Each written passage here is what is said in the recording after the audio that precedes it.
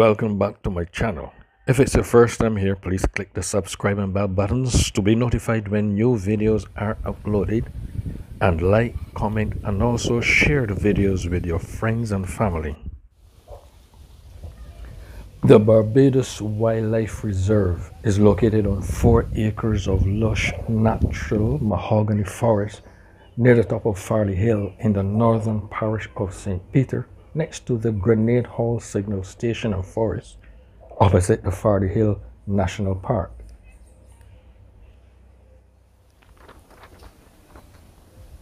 The reserve was established by Canadian primatologist Jean Baulu and his wife Suzanne, who moved from Montreal and initially founded the Barbados Primate Research Center in 1982 for the conservation and study of green monkeys, which were brought to Barbados in the 17th century and have now become widespread on the island.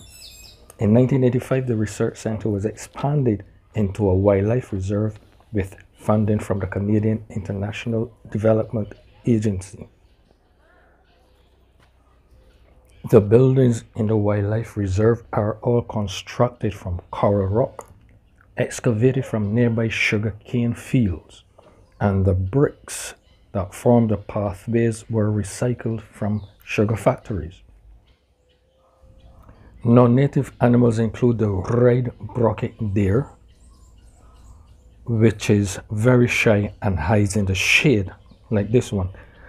There are also rabbits, caimans, which are crocodiles and look like alligators, otters, of agoutis, which resemble guinea pigs in high heels.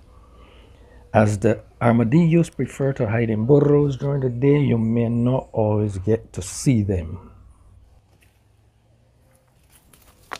The Wildlife Reserve is the animal kingdom of Barbados where visitors have the unique opportunity to roam freely at close range among the animals as they feed and play in their natural environment.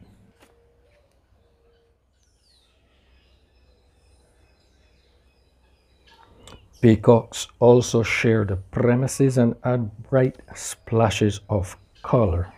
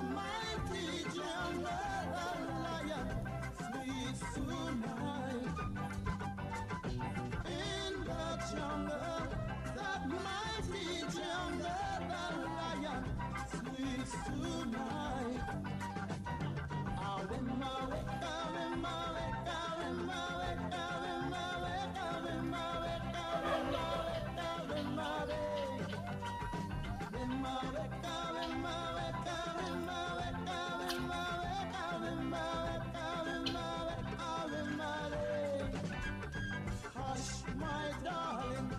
Don't cry, my darling. The lion sleeps tonight.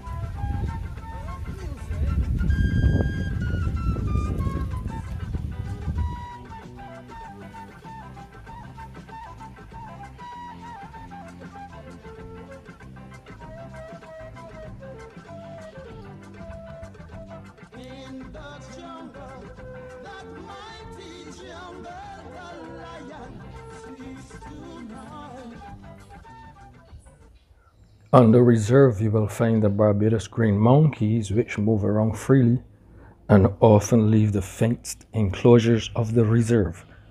Those that leave in the morning usually return in the afternoon at feeding time, which is around 2 p.m., where employees distribute fresh fruits and grains. Planted banana and mango trees provide food for these monkeys. The monkeys live in troops of about 15 and can grow up to 2 feet tall. They have a lifespan of about 30 years. These monkeys originally came from Senegal and the Gambia in West Africa, and historians believe that they were brought to Barbados on slave ships about 350 years ago as gifts to the early settlers.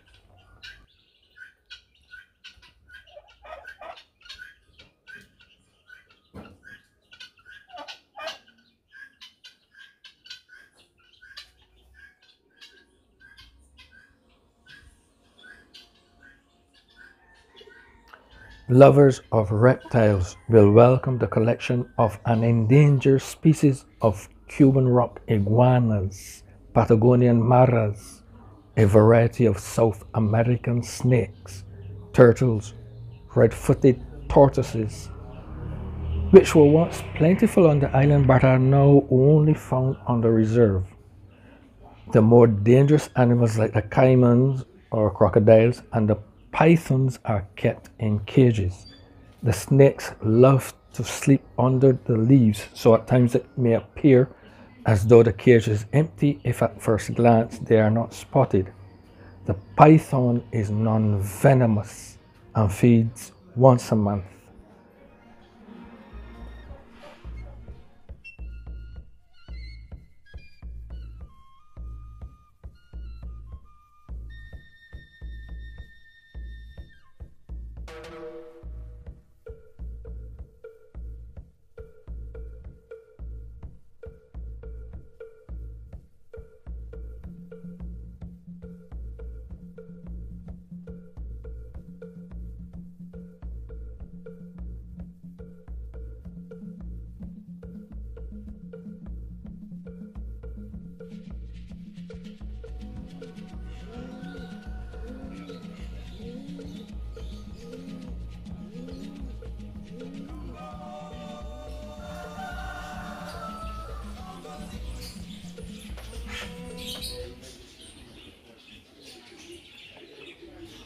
The walk-through bird sanctuary features a wide range of colorful birds like the macaws, parrots, pink flamingos, lovebirds, brown pelicans, brown doves, and many other tropical birds.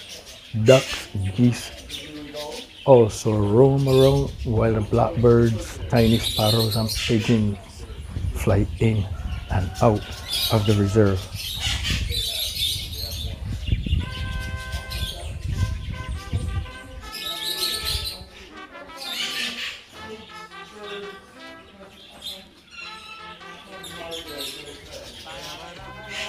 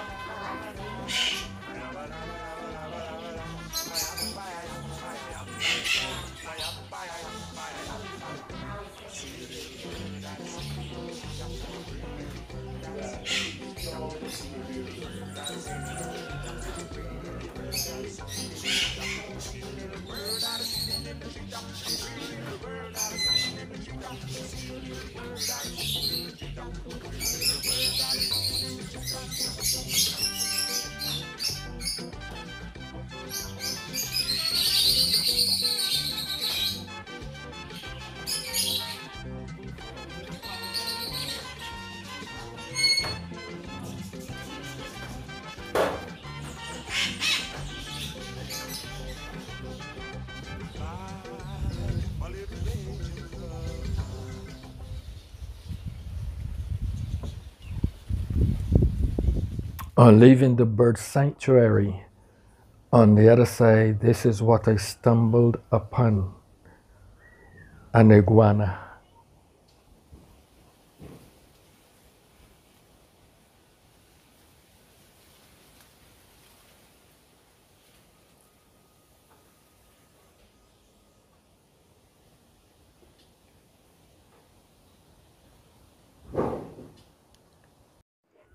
On the reserve, you will find the Barbados green monkeys, which move around freely and often leave the fenced enclosure of the reserve. And those that leave in the morning usually return in the afternoon at feeding time, which is around 2 p.m. There, employees distribute fresh fruits and grains.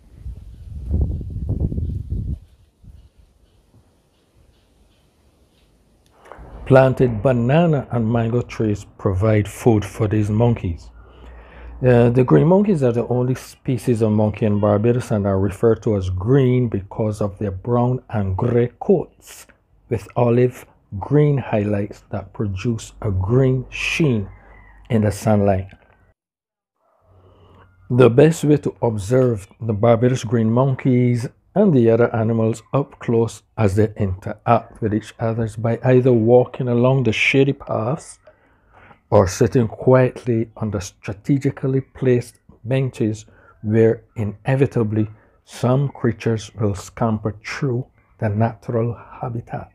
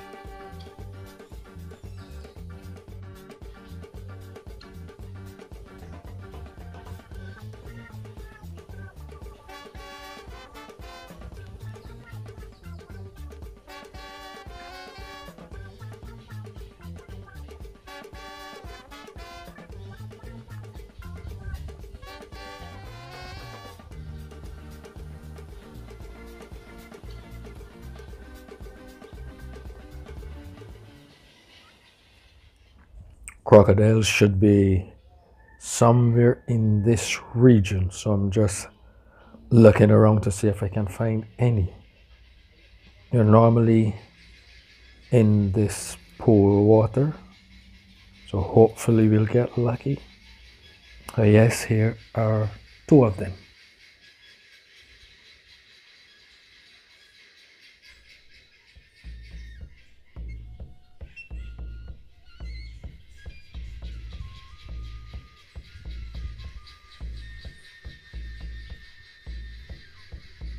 you.